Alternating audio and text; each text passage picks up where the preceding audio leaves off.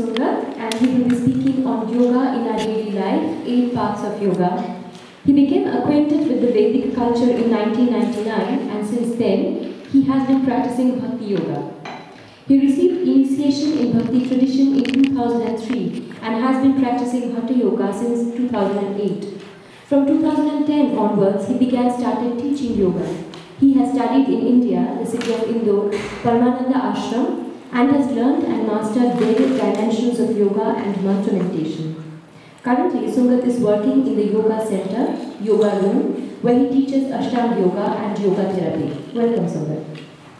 Қайырлы барыңызға йога аптасының осы соңғы күн тойлауға қош келдіңіздер бардыңыз йога в нашей повседневной жизни от господина сунгата искакова сегодня Сунгат познакомился с ведической культурой в 1999 году и с тех пор практикует бхакти-йогу. Получил посвящение в эту традицию в 2003 году. Практику хатха-йоги начал в 2008 году. С 2010 года начал деятельность преподавателя йоги. Проходил обучение в Индии, город Индур, Парамананда Ашрам и изучил различные направления йоги и мантры медитации. В настоящее время работает в йога-центре Йога.ру, где он преподает аштанга-йогу, йога-терапию. Итак, встречаем Сунгат.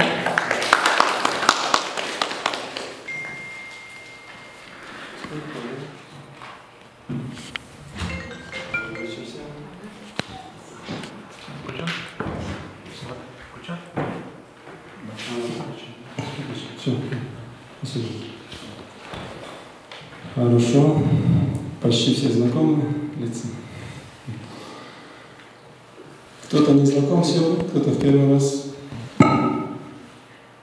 Только я нет.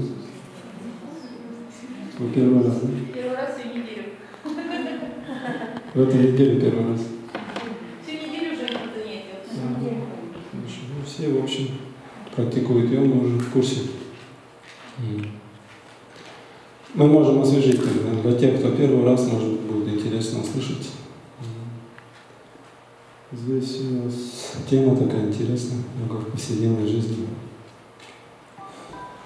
И само понятие йоги, э, вот здесь, здесь директор сидит культурного центра. Мы можем понимать, что это понятие идет из йоги. Э, Йога идет точнее из Индии. То есть это некая культура целая. Как сейчас говорят, духовная практика, но слово культура оно раскрывает как-то больше это понятие или понимание йоги. То может быть с этой стороны мы заглянем в йогу чуть поглубже, нежели просто будем говорить об асанах, упражнениях, терапии какой-то. Поэтому это актуально именно в повседневной жизни. То, что может взять для себя любой человек, который даже не знает, что такое йога. В принципе, люди пользуются любой культуре или традицией, они пользуются даже сами, не зная, это элементами йоги. Особенно восточная культура, когда мы рассказываем о йоге людям, которые вот восточные йоги люди. Зачастую многие говорят, да, вот я это с детства делал, или там моя бабушка делала, или мой отец делал. это». То есть это элементы повседневной жизни, которые дает йога как культура. Поэтому здесь мы немножко чуть-чуть говорить об этом. Такая внутренняя сторона йоги. То есть сейчас мы можем видеть, что йога, она предлагает людям внешнюю сторону, особенно вот Запада, здесь вот постсоветское пространство. Европа. Но мы также видим, что среди таких йогов есть йоги, которые пытаются понять как-то поглубже эту культуру, эту традицию также. Потому что мы понимаем, человек, который изучает йогу, понимает, что все науки, все культуры берут как раз таки начало оттуда, из той йоги, которая дается вот в Писании, очень древних Писаниях. Да. В очень древних Писаниях, говорится, они были только записаны 5000 лет назад, представьте. До этого эта традиция, эта культура передавалась из устно, говорится, вот как я вот сейчас тут вещаю, примерно так же. Никто ничего не записывал. Я смотрю, вы не записываете, вам не надо, у вас память хорошая, отлично, камера стоит, снимает, можно пересмотреть. В то время не было письменности вообще. Люди просто один раз услышав, запоминали на всю жизнь, говорится. Таких людей называли шрикитхарами. То есть человек просто один раз что-то услышал, причем не одно слово, к примеру, как здесь международная школа в Киосане, как дают уроки. Приходит ученик, и он записывает, много раз слушает, много раз записывает, потом пересказывает какие-то науки, математика, к примеру, языки. То есть это целый сколько час, полтора идет урок, да? Представьте, каждое слово нужно записать, хотя бы основное. Тогда как раньше люди передавали из уст на эту науку. И говорили не просто два часа, а целый день. Человек должен был запомнить и потом передать это на следующий день своему учителю или тем, кто младше его. Такова традиция в школе. То есть в одном, в одном классе могли сидеть дети разных возрастов. Много слышали, школа учителей надо такая есть. То есть похоже, взрослый должен, старший ученик должен был передать младшему и так далее. Они брали ответственность за младшего. И передавая, естественно, они изучали, понимали сами глубже, принимали свою жизнь, что еще важнее, говорится. Не просто получать теорию, а есть такое выражение в йоге 99% практики, и один такой маленький процент теории. Но все-таки теория имеет место. И я бы сказал, что этот процент, он фундаментальный. То есть это, на то, это то, на чем как бы строится то, что будет дальше делать человек в йоге. И об этих вещах мы будем говорить. Может быть, для тех, кто первый раз йога повседневной жизни может выглядеть вот так вот. Видите слайд, да? Человек сидит там, среди дороги, вокруг повседневная жизнь, да? А может следующий слайд. Тоже интересно. Занимается везде йогой. Даже на, на косяке двери. То есть это такой, может быть, немножко поверхностный взгляд на йогу, что вот йога, она вот ассоциируется именно с асанами. И как я могу их в повседневной жизни применить? Я могу э, что-то делать с костюмом, гладить его могу, в пинчамайурасане или в чем она стоит, стойки на руках, или могу резать, а, делать форму, там, печеньки. То есть это нужна, конечно, сноровка какая-то, многолетняя практика, может быть, такие люди гимнастами переходят в йогу. Это физический аспект, мы говорим, да? Дальше что у нас? Нажмите, пожалуйста, вспомнить надо. Да, что такое йога? Хорошо. И, естественно, мы сказали, что йога — это культура, которая идет из вот, самой древней традиции. На самом деле я изучал восточную культуру немножко, поскольку занимался какими-то восточными единоборствами, и корень я нашел в Индии. Я изучал немножко Японию, понял, что там очень сильные традиции, и потом чуть-чуть Китай, может быть. И нашел корень в Индии, понял, что все восточные единоборства, все танцы, все различные культуры, музыка та же, они берут корни оттуда. Поэтому изучая саму культуру Индии, можно понять ну, как бы основы, на чем держится культура в целом как бы, в мире. То есть и мы как бы глубже ее поймем. Мы поймем ее смысл на самом деле. Потому что вот это очень важно. Человеку понимать смысл, чем он занимается. Он может просто кушать бессмысленно. Да? И тогда этот процесс в ритуал превращается. Аюрведа об этом говорит. Если человек кушает невнимательно, то пища превращается в амну. Амна значит токсин. Может быть не сразу, но постепенно человек зашелковывается. Когда он кушает и смотрит телевизор, или обсуждает соседей, еще что-нибудь такое интересное происходит вокруг, он это все обсуждает. И параллельно кушает, да? Не теряет времени, другими словами. Мы же здесь, ну, люди как городские, да? То есть такой как бы у нас ритм жизни, надо быстро успеть, и, естественно, надо делать много дел одновременно. Кушать, говорить, э, планировать э, одновременно. Могу и поспать даже некоторые во время еды спят.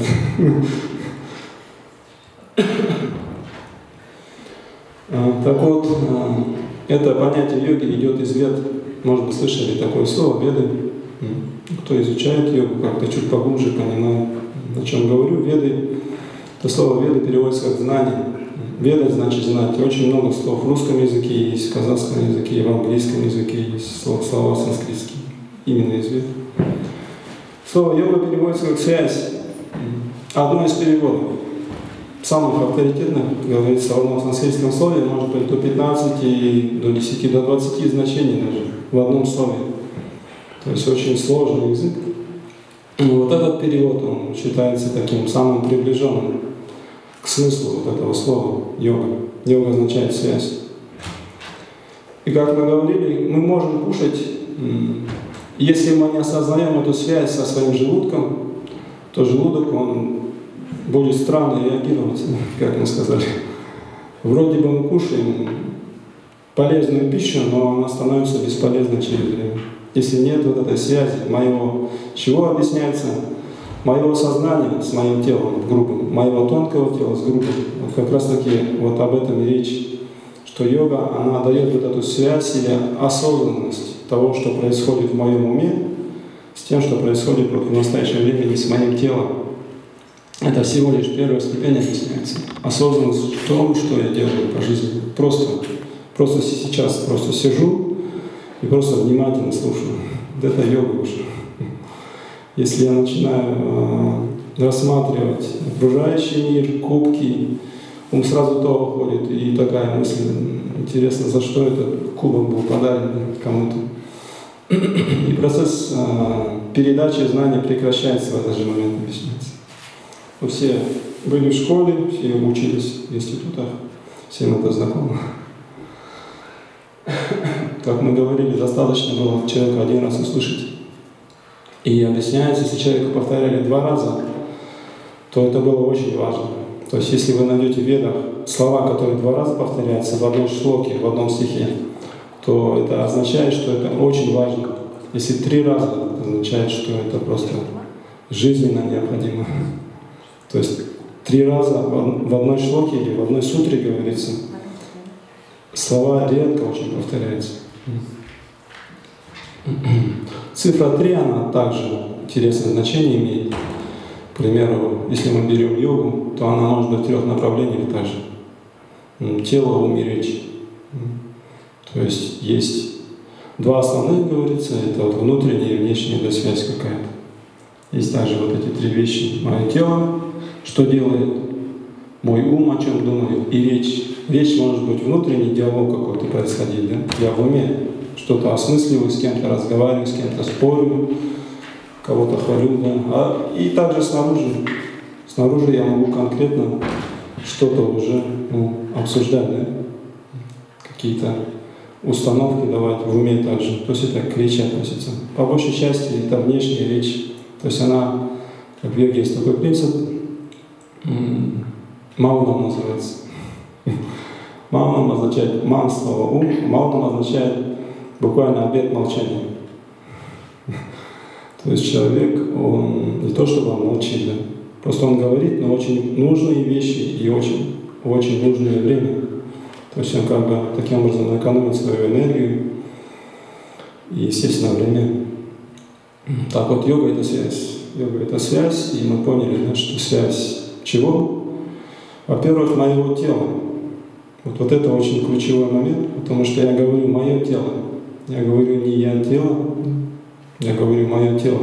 Поэтому йога сначала разделяет эти понятия, потом помогает человеку найти эту связь. Потому что не разделив, у нас в голове будет каша. Надо все по полочкам сначала разложить. Поэтому мы говорим эти фундаментальные вещи, что я не это тело. Надо понять, что я — это мое тело, а я — это сознание.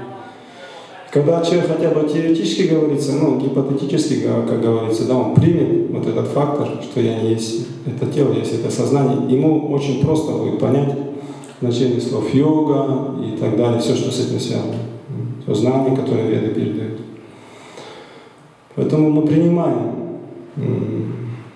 как бы даже теоретически, может быть, да. И когда с этой точки зрения я начинаю говорить, что я это сознание, я, я не это тело, и я начинаю понимать природу этого сознания. Говорится, тело обладает временной природой. Означает, оно проходит через какие-то этапы изменений. Всего, сколько мы обсуждали в прошлый раз? Пять или четыре. Тело рождается, можно сказать четыре. Тело стареет, тело болеет, тело умирает, все. Ну, есть еще пятый, очень важный, конечно, мы же люди все. Родить кого-нибудь надо обязательно, чтобы кто-то, чтобы кто-то продолжил эту традицию. Любая традиция, в любой традиции должен быть преемник обязательно. И родители очень сильно радуются, когда сын рождается. А, их называют путра, да? То есть человек, который помогает родителям а, в их, на их пути совершенства. Он помогает им в их предсмертный час. То есть есть целый ритуал, как это делать. Поэтому дети обязательно должны быть. Должно быть, как объясняется, а, планирование семьи, да, есть такое популярное слово. Планирование означает, я планирую детей. Я не планирую, не, не планирую рождаемость, не контролирую рождаемость детей. Я планирую, какой ребенок у меня появится. Причем в некоторых картатах описывается, что я могу даже запланировать пол своего ребенка, цвет его кожи, разрез его глаз. И что очень важно, сознание. Какое сознание будет у моего ребенка, чтобы он следовал той традиции, которой я как бы следую. То есть йога очень многогранна, очень обширна с этой точки зрения. Поэтому йога начинается с того, можно дальше нажать кнопочку. Я вспомнил, что там дальше. Есть next. А, это значит следующий слайд. Хорошо. Здесь есть, а, мы говорим, Веды, Писание. И вот один из а, трактатов, называется Йога Сутра Патанджали, сами Веды разделяют на три категории. Шрути, Смрити, Ньяй. Шрути – это то, что было пересказано, то бишь четыре веды, может быть, слышали, Рик, Яджур, Адхарва, Самаведа, да? слышали, четыре веды существуют. Существует изначально, говорится, существовала одна веда, она исходила, исходит из звука Ом. Представьте, всего лишь один этот звук Ом передает все знание. А потом Вьясадева пришел на заре нашего времени, кстати, Кали-юги. Это такое время необычное. Железное время, как говорят. Когда людям надо записывать, надо снимать, надо фотографировать. Это надо делать. И он записал, он разделил эти веды на четыре, говорится. А, и потом следующий раздел вед смотрите то, что было запомнено. И вот как раз таки в этом разделе есть такие сутры, его сутры Патанжали. Также в конце мы чуть, может быть, Бхагавадгита там будет в конце. Но вот это самое близкое как бы понятие к йоге. Такой, какой мы ее знаем, к примеру, в западном мире. Здесь вот это вот то, что дал а, Патанджали это вот такой мудрец необычный. Здесь у него форма обычная, но если вы загуглите, то вы увидите человека, у которого тело необычное, и получеловека. То есть некая инкарнация божественного змея Напашаша. Он пришел на землю, конечно, в обычной форме человека, чтобы не пугать никого, и передал, говорится, знания грамматики, математики, и вот йога сутры он дал, что очень, ну, очень важные писания такие, где описывается путь э, восьмиступенчатый, путь аштанга йоги. Кто изучает, кто, кто практикует аштанга йогу, поднимите руки, пожалуйста. О, очень крутые люди сидят. Аштанга йога, сейчас она дается как асаны, даже в этой аштанга йоге традиции Патапши Джоси мало говорится о ямах, не ямах, но Патанжали, как традицию, именно в традиции Патанжали, начинает с этого, он говорит, что есть вторичный поиск, да, какой-то двойной, да, вот внешний, внутренний, духовный. Нажмите следующий сайт, next. А. Это как раз таки вот главные стихи в йога сутрах Патанджали. Это как он объясняет слово йога. И первая шлока, это вот как раз таки в первой главе Самадхипада, там, где описывает как бы конечную цель йоги, которую он дает, он говорит, что такое йога. Йога чита вритиниротха. Знаменитый текст, все знаем, на слуху у всех. Йога чита. Чита означает буквально сознание. Врити означает некое движение или колебание, надо переводит. То есть наш ум всегда в движении, говорит, все природа такая. Хотя, говорится, изначально он в благости находится, но особенно в городе мы понимаем, что ум невозможно остановить. Невозможно остановить. Он всегда двигается. Даже ночью, когда мы спим, он обязательно куда-то слетает, с кем-то пообщается. Это один из видов сна, говорится, сознательный такой сон, подсознательный. Йога чита означает, как Патанджали объясняет, приостановить вот эти движения или эти колебания в уме, вот этого движения своего сознания. Очень актуально, хотя он написал это больше двух с половиной тысяч лет назад, но мы сейчас читаем эту, эту, эту сутру. Сутра означает такое сжатое значение какое-то. Можно его расширить, дать комментарий. И а, к этой, а, как бы к этой книжке есть комментарий Айнгара. Вот кому интересно, наберите комментарий Айнгара. Йога Сутрам Патанджали очень грамотно объясняет. Айнгар знаменитый преподаватель в Вайшнаве Сампрадай находится, вот он объясняет очень хорошо. Так вот, мы сами люди, обычные люди, которые живем в городских условиях, мы понимаем, что иногда надо остановиться. В этот момент происходит как раз таки это осознание того, что такое йога, начальное такое, что когда ум успокаивается, тело оно связано с умом, говорится, напрямую причем. Психосоматика об этом вам очень подробно расскажет, как тело с умом связано, как эмоции наши связаны с другом телом. Поэтому когда вы тело останавливаете, Ум тоже можно приостановить. Он не остановится до конца, конечно, но ему как-то будет проще, когда все спокойно вокруг, когда никто не носится, да, когда никто не кричит, когда меньше загазованности, когда вокруг меньше вот этих стрессов. И как-то мы ощущаем, что есть некая какая-то связь с внешним миром. Вот это вот первый аспект йоги. Понять, что у меня есть связь с внешним миром. Вот на природе это очень просто. Вот вам просто стоит выехать в Боровую и сразу ощущаете связь. Да, это природа, это кислород, это, кажется, приехал утром, уехал вечером, кажется, неделя прошла, да? То есть эта связь, это время расширяется сознание. Почему? Потому что связь очень глубокая происходит. Говорится, сознание, время как расширяется во время... А, интересный факт? Что на самом деле наоборот, объясняется, когда удовольствие испытывает человек, то время может сужаться. Но когда есть связь настоящая, она может расширяться в сознании. И наоборот, когда человек страдает, в сознании человека время может расширяться. Кажется, зуб болит всего лишь, а, я не знаю, две минуты, да, кажется, два часа прошло уже. Я вырвал зуб вчера Я сидел пока, думал, полдня прошло, пока мне его рвали. В сознании как бы время умеет, имеет свойство расширяться. То есть это как бы общепризнанный фактор такой. Поэтому связь означает, я могу сам расширять время в своем сознании. То есть я могу контролировать. То есть это единственное, говорится, что есть у человека. На самом деле это право выбирать. А, хочу я расширить свое сознание или хочу его сузить. То есть единственная вещь, которая есть у человека, это делать выбор. Утром мы встаем и все выбираем. Пойти мне на работу сегодня или нет. Хотя вы понимаете, что у вас нет выбора, но вы делаете этот выбор и встаете.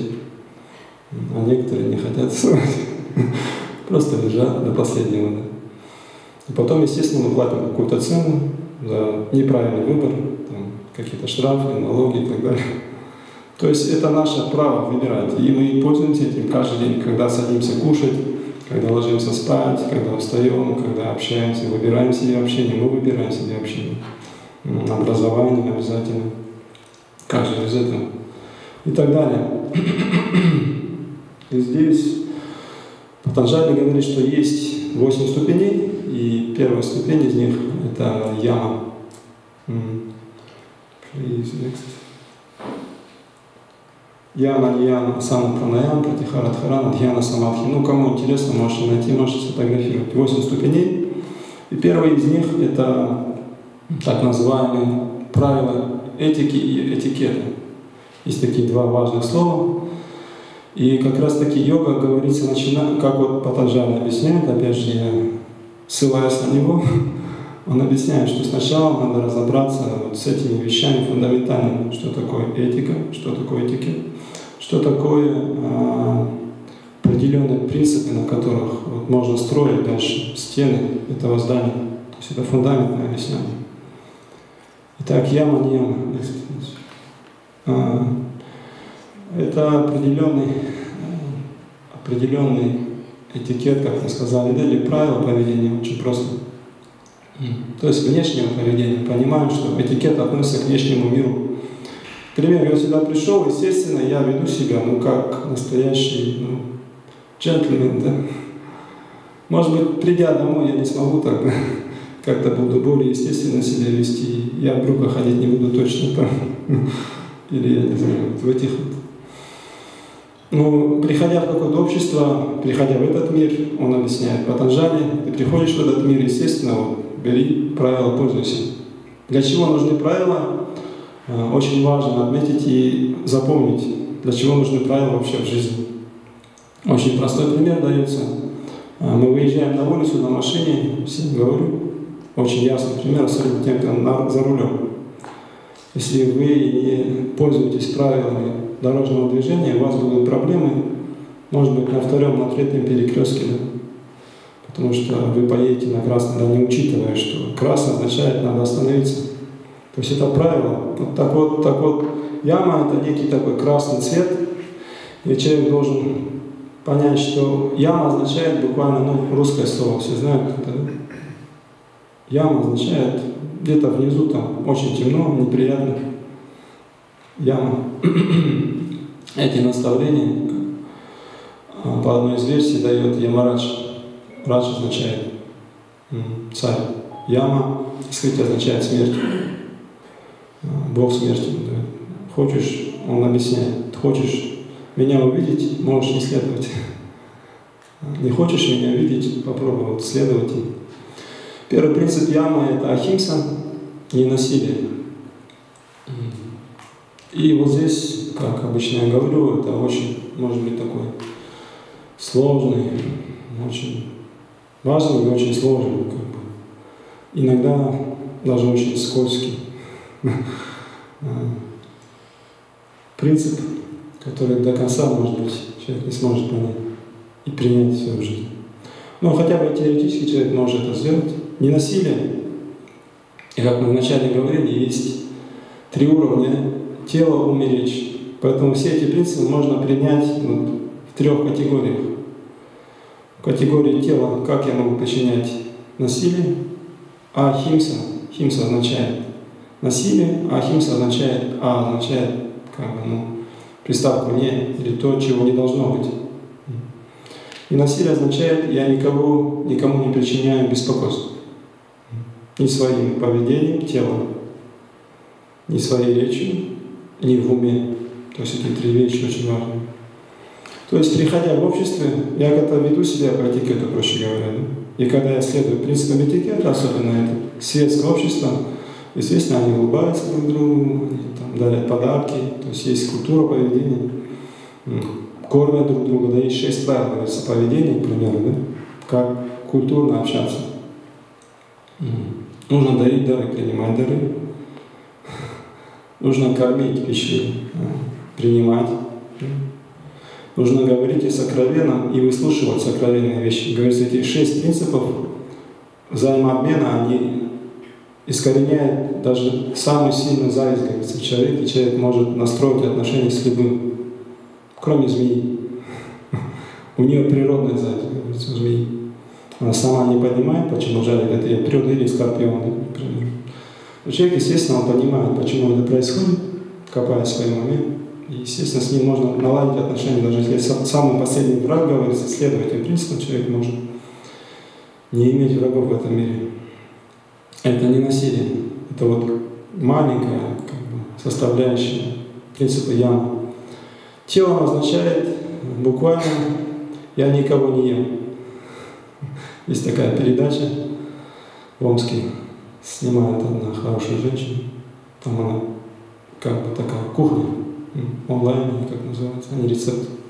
Она так и называется «никого не ем» означает не есть никому ничьи тела, ничьи умы и так далее, ничье время. Дальше будем говорить. То есть не причинять беспокойств. Быть, другими словами, быть уважительным и понимать связь тела а, или сознания других людей, сознанием моего как бы, мира внутреннего, сознанием окружающего. Если расширить понятие йога, оно расширяется вот именно в этом трактате, Э, смотрите Бхагавадгите. Там Бхагавадгита она дает пять важных составляющих, или четыре даже. То есть пятое нам сложно понять. Вот одно из них – это материальный мир, второе – это душа, третье – это Бог. Три понятия. Там еще есть время, есть судьба, карма объясняет, что такое кала, карма и затем бхакти. Вот там он расширяет это понятие йога, Бхагавадгита, как бы она фундаментальная, говорится, писанная по йоге. Если человек хочет понять по-настоящему, йогу до конца. Вот эта йога сутра Патанджали говорится, это часть, какая-то часть, маленькое понятие йога, но в полном смысле она в Бхагавадгите раскрывается. Все виды йоги описываются основные. И вот ненасилие означает, ну, я веду себя так, чтобы никому не причинять беспокойство. На самом деле это закон Дхармы говорится. Закон Дхармы означает закон справедливости. Мы же все хотим справедливости, да? Так вот, закон справедливости, я Марадж говорю, я у Юдхишира меня спрашивает, точнее, Мара спрашивает, у Юдхиширы, царя правильно, Юдхишира говорит, что закон справедливости очень простой. Я общаюсь со всеми так, как хочу, чтобы общались со мной. Очень простой принцип, очень понятно. Потом с этой точки зрения не хочу, чтобы меня беспокоили как-то. Поэтому, естественно, если я веду себя так, я понимаю, что как бы это не нейтральное, это нейтральное отношение, но оно чуть выше говорится. Это некая благожелательность или уважение к окружающему миру. Вот это фундамент йоги. Уважать окружающий мир и понимать эту связь окружающего мира. Мы говорим про крити, материальный мир, говорит Бхагавадгите, описание. Тригуна материальной природы объясняется. Природа материального мира. Также сама, само понятие души, сознание, мы говорим об этом. Естественно, понятие высший дух или параматма. Дальше у нас честность, сати, или иногда пишут не лгать. То есть в этом принципе яма все с приставкой «не». Но здесь сати означает очень честный человек. Такое есть имя Сатья Дас. Очень честный буквально. Интересно, что каждый из этих принципов дает свои плоды. К примеру, Ахимса, не насилие. Недавно мы обсуждали что если человек следует этому принципу, то есть мы же люди с вами разумные, естественно, когда мы тратим на что-то время, мы тратим его с ожиданием какого-то плода. Так вот, не насилие говорится, какой плод дает, интересно. Кто знает, если я никого не беспокою, то меня никто не беспокоит. Знаю, хорошо. А? Вся энергия только на тебя уходит на твои дела, ты не Да. слышишь. Да. На кого не надеешься. Хорошо. Панигар объясняет в своих комментариях, чуть шире он дает понять. Он говорит, что в присутствии этого человека любое живое существо теряет свою враждебность. То есть вы заходите к этому человеку, и вы чувствуете, как-то он спокойнее стал. То есть уже и нету агрессии такой. То есть я даже стрессоустойчивость чувствую. Вот у меня были вопросы, они ушли куда-то, да? проблемные, потому что у него у меня проблем нет. В присутствии вот этого человека. Это плод Ахимса. Если человек будет следовать, выбирать э, свое поведение по, по отношению к окружающему миру, то в присутствии этого человека, говорится, очень важный принцип, что вы приходите, и у вас ну, нет проблем рядом с этим человеком. Любая жена хочет такого мужа, да? Любой мужчина хочет находиться в таком обществе. М, Такой жены. Следующий принцип сати – честность. А, Я говорю правду. Очень, очень сложный принцип тоже. Потому что правду говорить очень сложно сейчас. В наше время, говорится. А, Я должен иметь как минимум два знакомых нотариуса, да, которые всегда под рукой, чтобы пойти и свою правду зарегистрировать, чтобы как-то подтвердить свои слова. Но вот этот принцип, говорится, сати, это последний принцип в Калигу, на котором держится сейчас общество.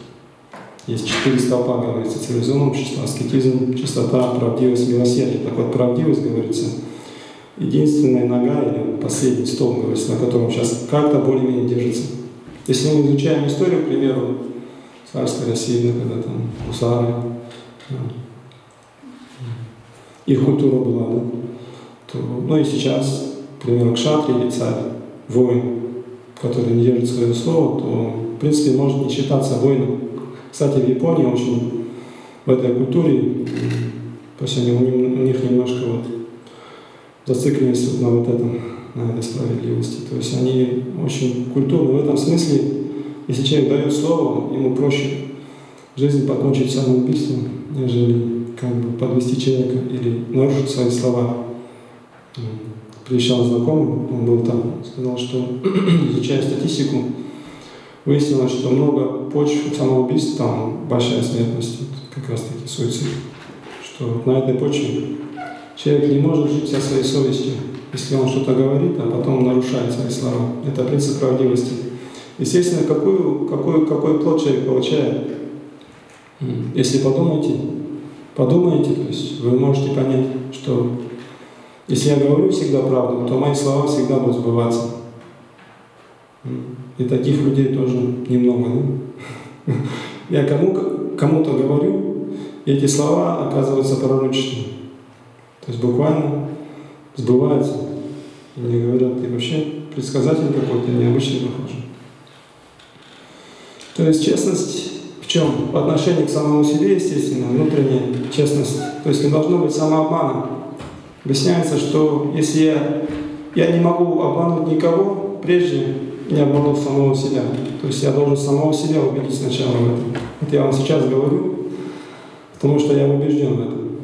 Я самого, самого себя убедил в этом, поэтому я могу говорить убедительно в каких-то вещах, которые я сам пережил, естественно, которые я сам ну, прочувствовал да, на себе. Поэтому здесь, если человек говорит что-то, он не говорит впустую, он взвешивает свои слова, и, естественно, его слова сбываются. Честность. Астея, да, не воровство. И воровство означает, опять же, на двух уровнях может, как бы вот, внутреннее, да, какой-то принцип такой к самому отношению к самому себе, и также внешний. Буквально для нас не воровство означает не брать чужое, очень просто. Если на дороге лежит кошелек, то мое эго моему скажет, ну тебе похоже, это подарок судьбы. Но если человек заглянет вовнутрь, он поймет, что это не его. Вот еще Панишат, есть такая книжка, раздел вот этих вет, шрути. Главный из них, говорится, это Шри Шапанишат, главное. Там объясняется эта формула мира, что человек должен брать то, что выде- выделено ему как его доля. То есть человек должен понять, что его доля в этом мире. И иногда люди обманываются, да, похоже, вот это моя доля, да, и берут что-то чужое. Здесь тонкий, важный такой принцип, вот этот, не воровство. Естественно, какой он плод дает, человек, говорится, обретает богатство всего мира, оно само, ему, ему само приходит в руки, даже если ему это не по сути. В йоге объясняется, что когда, как только вы рождаетесь, определенное количество, ну, время, вдохов и выдохов у вас на счету. На вашем счету кармы есть такой счет кармы, говорится. Два счета, там, две валюты. Это благочестивая и неблагочестивая, сукрити, душкрити. Благочестивая карма, я делаю хорошие поступки, и на этот счет попадают какие-то копеечки хорошие. Естественно, они дают мне право потом получить хорошую жизнь, хорошее рождение и так далее. И какие-то неблагочестивые мои поступки накапливались на этом счету душкрити, тот человек, он начинает болеть ни с того ни с сего. Много людей, которые рождаются и с рождения врожденные болезни получают. Это вот неблагочестивая карма, йога объясняет. Как бы он такой нейтральный закон. То есть он такой как бы механизм запущен. Его не кто-то там сидит сверху и контролирует. Вот ты негодяй, вот я тебя накажу. Родишься уродом, да? что-то в этом роде. То есть если человек сам, говорится, вправе выбирать, кем быть в будущем. То есть в настоящее время объясняет, закладывает э, мою будущую жизнь, мое сознание, мои поступки, мои желания, закладывает мою будущую жизнь. По большому счету объясняется, даже мое будущее тело – это мои желания из прошлого. Я родилась женщиной, я родился мужчиной. Означает, меня очень много было желаний в эту сторону. Женская психология у мужчин, да, у многих сейчас. Очень мало мужчин рождается, объясняется. По этой причине. Больше женщин да, рождается. Больше женщин склонны слушать, к примеру, здесь в зале я вижу, может быть, не вижу ни одного мужчины. То есть я вижу мужчин, но они по работе же пришли. Никто не пришел йогу послушать. Если одни женщины собрались. Тело женщины так удивительно устроено, что она сильнее мужчины. В этом плане ей проще понять вот эти вот это понятие, слово йога, слово интуиция, слово психология, да, слово саморазвитие, не самоистязание, саморазвитие, самоопознание и так далее. То есть умом говорится 9 раз сильнее женщины. Некоторые 7 раз говорят. Даже физическое тело, ну, мы знаем. Поэтому здесь плоды того, что дает йога, они очевидны. Дальше брамачари – это целомудрие или воздержание. Брамачари а, иногда как бы объясняет как сексуальное как бы, воздержание. Целомудрие, как бы я это слово вписал сюда, потому что оно более понятно будет. Слово целомудрие из двух слов состоит. Да? Мудрость и некая целостность внутренняя. То есть когда человек понимает, что он внутри находится, и не то чтобы смиряется с этим, а воздержанием, брамачарья означает некий а, целебат или внутренняя какая-то целостность. То есть, другими словами, он не распыляет вот эту энергию свою. То есть, если мы говорим о сексуальной энергии, то корень этого как раз таки в этом объясняется. В том, что я желаю чего-то очень сильно. Поэтому, когда человек, у, у него есть мудрость внутренняя, целостность, то, в принципе, он много не желает. То есть у него, естественно, этот принцип соблюдается. Этот принцип дает чистоту. Его плод — это чистота. Это внутренняя чистота. Когда вы общаетесь с таким человеком, вы понимаете, что у него нет никакой корысти по отношению к вам. Общались с такими людьми? Нет, да? Редкие люди. Редкие. Редкие люди, потому что вот когда с вами общается, чисто общается, и вы понимаете, что у него вообще никакой корысти к вам, он очень чистый человек. Они существуют? Да, существуют. Надо искать. Да. Это люди в гуне благости, духовные люди, да, так, просветленные. Есть такие люди. На самом деле говорится и большинство. Вот мы с вами сколько тут миллиардов на этой земле, мы в меньшинстве на самом деле находимся, объясняется. Йога объясняет, Веда объясняется, 8 миллионов 400 тысяч форм жизни существует на этой земле, на нашей. Из них 400 тысяч – это человекоподобные живые существа. Из них мы видим только друг друга, это мужчина и женщина, один тип, да? человекоподобных, но их гораздо больше. Мы с вами в большинстве, говорится. Пытаемся контролировать здесь численность планеты, но это вещь такая искусственная. Земля может выдержать и в сто раз больше, я вам скажу. Зависит от сознания человека. Говорится, жадный человек, ему будет очень тесно, очень тесно, даже будучи, если он один находится на всей планете, ему будет мало места. Это вот принцип. Это будет а, следующий, да? Аполиграха – умеренность в потребностях. Иногда переводят как непринятие даров. Но умеренность, как я, как бы я написал, это как-то более нам понятно. То есть как-то быть попроще, да? Своих потребностях. Мы понимаем, что нам не нужно две машины, к да? не нужно две квартиры, да, я не, не знаю, не нужно там 100 комплектов одежды, да? и 20 пар обуви. Да? Потому что это отбирает очень много энергии, объясняется. Йога – это также понимание того, что все вокруг – это энергия некая. И во мне, и снутри, и снаружи также. Естественно, с этой точки зрения йога объясняет, как аккумулировать эту энергию, как не злоупотреблять этой энергией, как, как бы некая такая ну, экологичность должна быть. Этот принцип ахимсы, затем вот такая, вот, такой принцип париграха помогает человеку не распылять свое сознание так сильно и свою энергию. То есть, к примеру, мужчина очень прост, да? он может спить, спать на одном матрасе. Да? С этой точки зрения им проще понять вот этот принцип апариграха. Холостяк может жить с одной сковородкой, без штор, у него будет одна газовая плитка, эта уверенность, это в его понимании. Женщина принесет шторы в эту квартиру, а, у него будет каждый, а по, по сковородке на каждое блюдо, две виды плитки и так далее.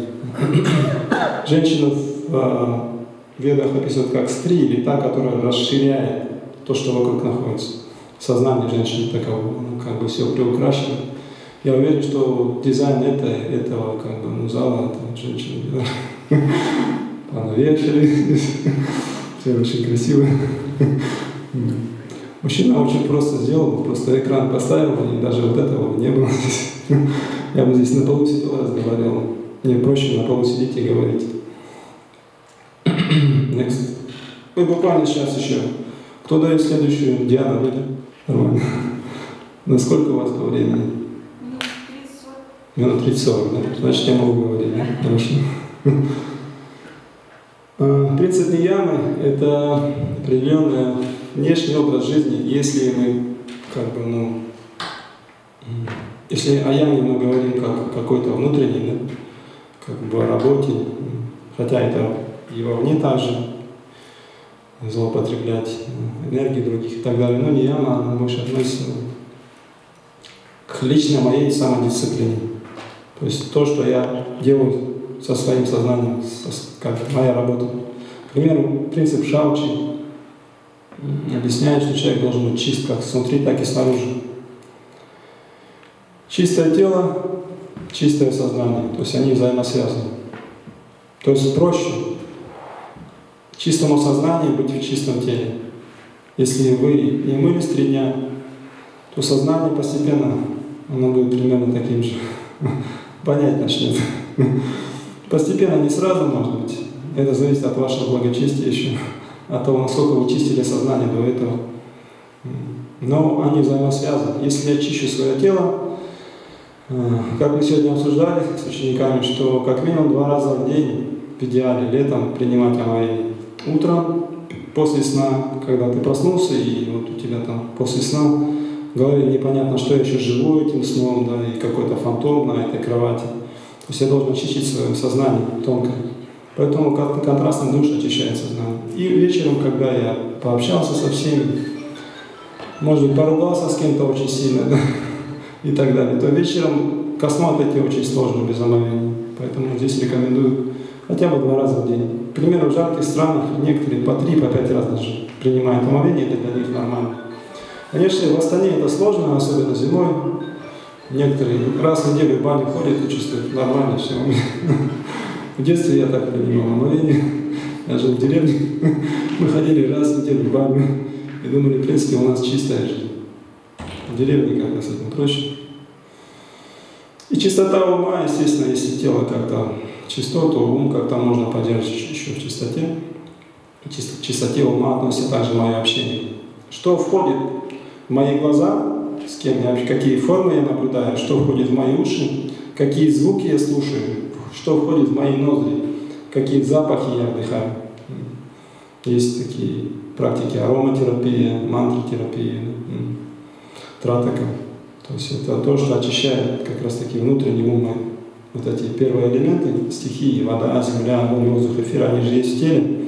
Соприкасаясь с ними во внешнем мире, говорится, мы гармонизируем, гармонизируем их внутри, и наше сознание оно приходит в баланс тогда. Если вы долго смотрите на воду, да, то есть есть такая практика медитации, просто смотреть на воду, то ваше сознание постепенно станет таким же зеркальным и гладким.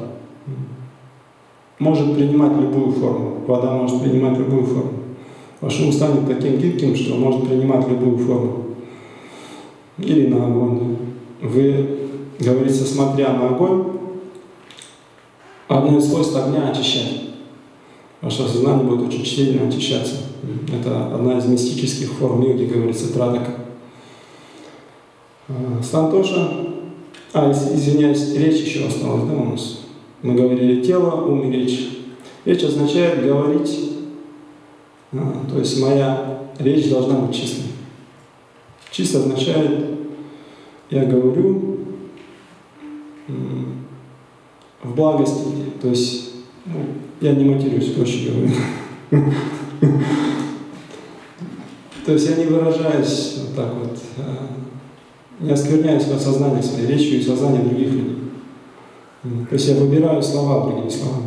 Это означает, что определенная чистота сохраняется речи. Потому что если я что-то говорю, это воздействует на мое тонкое сознание. Если я говорю плохие слова или слушаю их, отрешенные, к примеру, ученые объяснили, что э, мат, русский мат, казахский мат, неважно, может разрушить вот эти цепочки, то есть внутренние цепочки, вплоть до ДНК причем.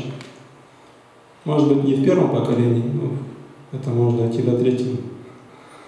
То есть рождаются дети с врожденной склонностью к агрессии, например. Оп. еще каким-то с психическим заболеванием. Это вот плод того, что я не, а, не, не следую принципу этого, чистоты, чистоты речи. Дальше Сантоша, самоудовлетворенность. Okay. Самоудовлетворенность Сантоша или очень, очень похоже с принципом апариграха. Это принцип э, самодостаточности. Это принцип э, умеренности, мы говорили, да? Самоудовлетворенность означает, это принцип чуть глубже. Сантоша – это внутреннее такое состояние э, умиротворения. То есть я доволен, что у меня есть такая жизнь, я доволен тем, что я имею. К примеру, женщин много. К примеру, это принцип закладывают с детства девочки.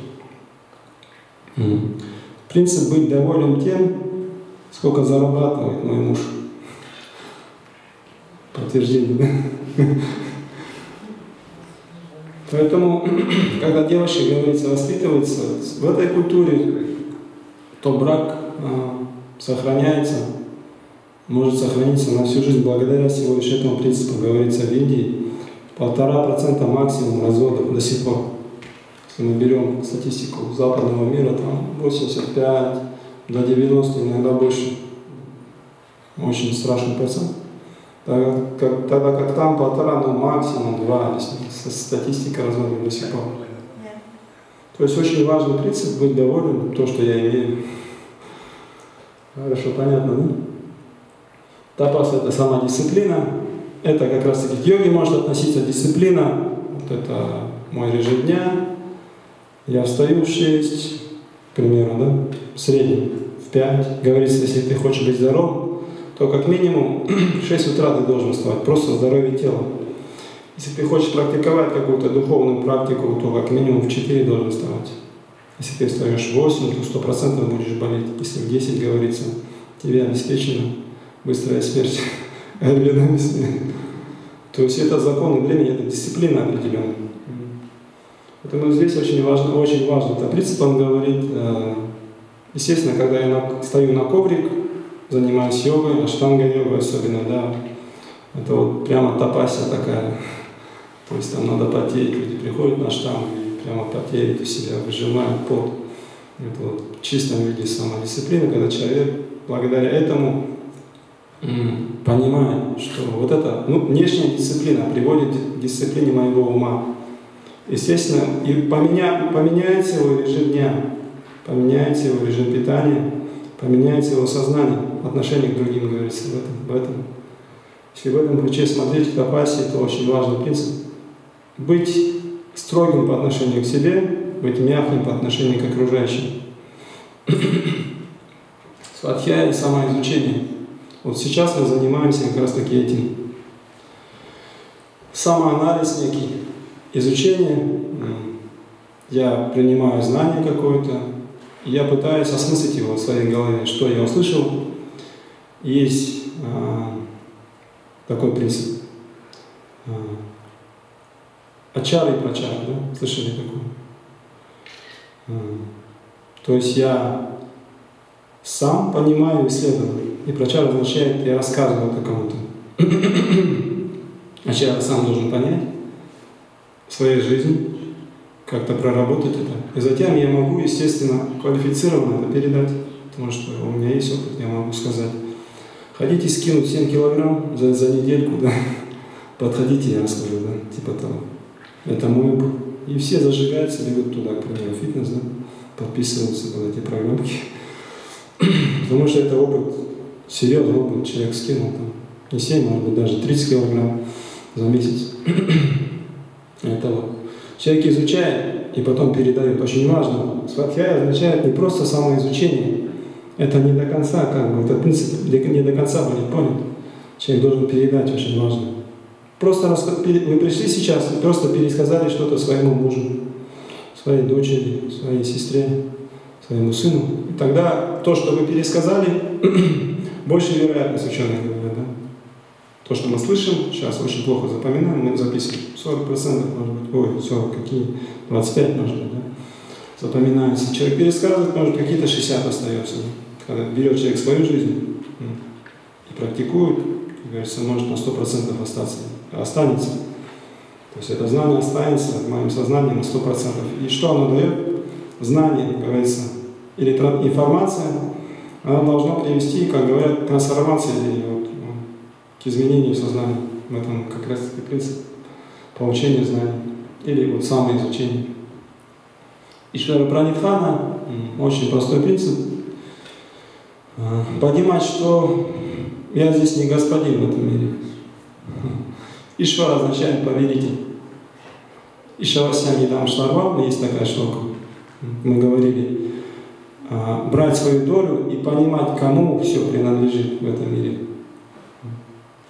То есть, когда человек понимает, что мне не принадлежит это все в этом мире, даже это тело мне не принадлежит, он, ну, предполагается, что он будет очень бережно к этому относиться. Когда вы понимаете, это мое, вы можете, в принципе, и спустить это на самотек. Да? Ну, сплю сколько хочу, это же мое тело, я же хозяин. Но когда в сознании, что даже это тело мне не принадлежит, оно как бы в аренду дано, вы приходите в квартиру, арендуете, естественно, вы не будете себя вести как ну, свинья да, в этой квартире. Естественно, вы будете как-то убираться там, обязательно, может быть, какой-то ремонт сделать, чтобы вам было приятно, потому что понимаете, это место, где я живу. Также это тело, говорится, сознание должно быть чистое, это место должно быть чистым, сознание в теле находится, и это тело должно быть чистым, мы говорим, шауча важный принцип. И вот здесь, когда человек понимает, что здесь не принадлежит этот мир, мне не принадлежит, это тело мне не принадлежит, но оно дано мне на время. Для чего? Очень понятный принцип для тех, кто вот садхьей занимается, что жизнь – это школа. Человек пришел в школу, чтобы получить образование.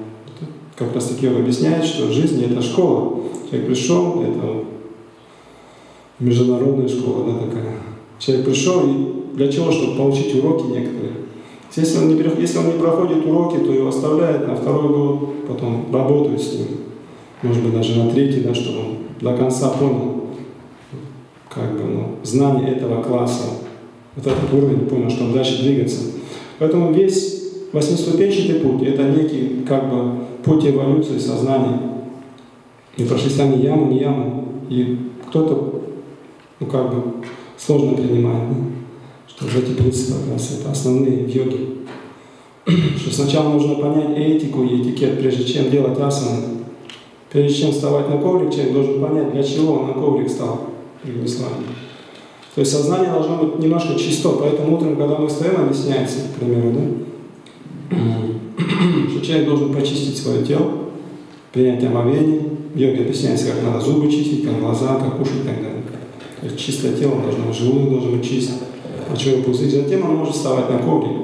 То есть тогда шаткар он дает герана, к примеру, ну, герана санхита, а вначале он дает шаткар 6 очистительных процедур. Не нужно их делать все прямо каждый день, да? но основные мы можем принять омовение, там, джаланети сделать, почистить ноздри свои да, для пранаям и так далее, глазки свои почистить. И когда человек стоит на коврике, он чувствует эффект асаны. Как дается такой пример, если ваш желудок зашлакован, то навряд ли очень сложно будет лекарство то есть, давать эффект вашему телу. Потому что на ваших стенках желудка очень много токсинов. Туда э, очень сложно будет проникать какие-то лечебные свойства, таблетки. Но когда желудок чист, просто принимаете какую-то травку непонятную. Оно имеет очень сильный эффект. Такой сильный, что больше, чем какие-то дорогостоящие лекарства. Просто чистота определенная. И так далее. Яма, яма, асана, то есть человек делает осознанно как бы, упражнение, подводит под контроль свое тело, мы видим асаны разные, здесь я, ну вот когда мы видели там предыдущие слайды, интересные девочки делали асаны в кухне, там еще где-то на косяке двери, очень сложные, да? полный контроль над телом. Все хотят полный контроль. Это сознание живого существа, говорится, аха момент означает я хочу контролировать, я хочу наслаждаться. Это ложное эго объясняется. Два свойства имеет аха моменте. Я контролирую, я наслаждаюсь. Буквально это вот а, как бы желание человека занять положение Ишвара. Ишвара означает повелитель. Я прихожу домой и говорю, я здесь Ишвара, слушайте меня. Муж, муж, мужья иногда приходят и говорят, я здесь наслаждающийся, контролирующий. Или жена приходит домой, да? И там бои потом, кто из них Ишвара, да? Кто из них повелитель? Говорится, это ложное эго, аханкара. Истинное эго означает «я слуга». Я слуга жены, я слуга мужа, я слуга детей. И чем выше мое положение, чем больше у меня подопечных, тем больше я слуга, объясняется. Если я президент, означает я слуга своего народа. Есть такой сериал хороший. То есть это истинное понимание того, что я сознание. Потому что сознание, говорится, духовное сознание означает я слуга всех живых существ. Хорошо, next please. Спасибо, Сумка. Да, да, да. Все, дальше пройдите. Дальше, дальше, накройте, дальше. До конца пройдем.